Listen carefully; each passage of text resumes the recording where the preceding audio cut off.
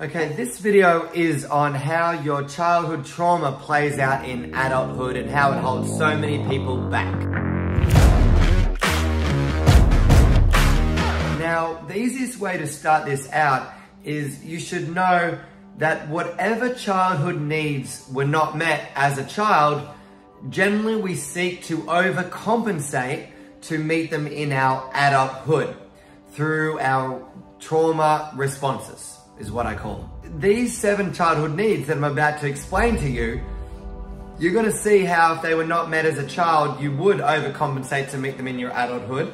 And I'm gonna give you some examples as well. This helps you hopefully to become more aware in how you, you know, are you acting from a trauma response or are you acting from your authentic self when stress uh, happens or, you know, occurs in your life? So these are the seven ch core childhood needs, by the way, first. So the first childhood need is a need to feel seen, right? That we feel seen enough by our, you know, authority figures in our life. Essentially, normally it's our parents.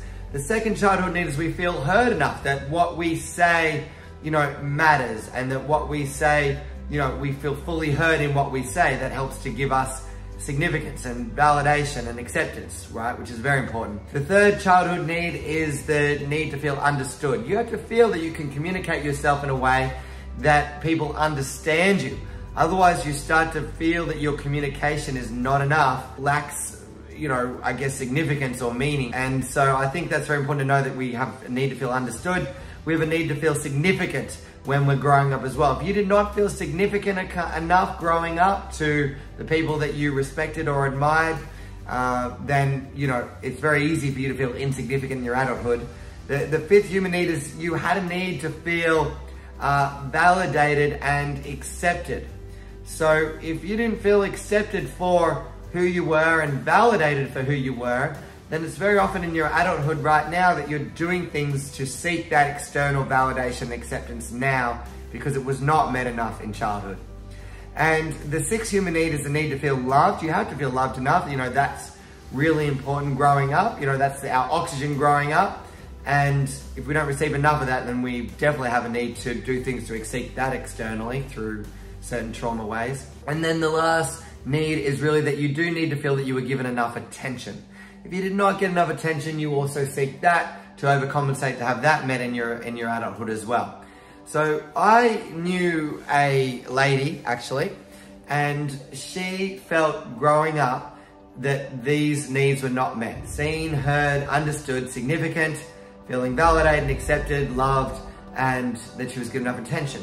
So the way that played out in her life is she actually, whenever somebody else needed her um, you know, to have their own emotional needs met or, you know, essentially she would drop everything and sacrifice herself to meet the emotional needs of that person because she did not feel her emotional needs, these needs were met herself growing up.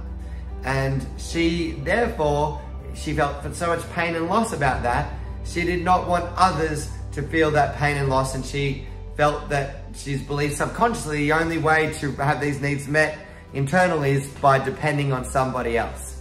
So I think that is super important to recognize. I had another lady as well, I took on a retreat once, and she actually was always talking at the table. She always had to be talking.